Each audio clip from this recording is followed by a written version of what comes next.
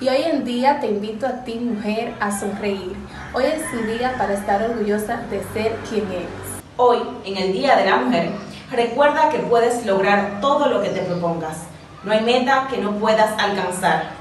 Hoy y cada día, no te prives de convertirte en la mujer que deseas ser. En esta noche le digo a todas las mujeres tu artista y en especial a la franco-macorizana, que son soñadoras, luchadoras y trabajadoras incansables, que día a día salen a las calles a trabajar para lograr un mundo mejor.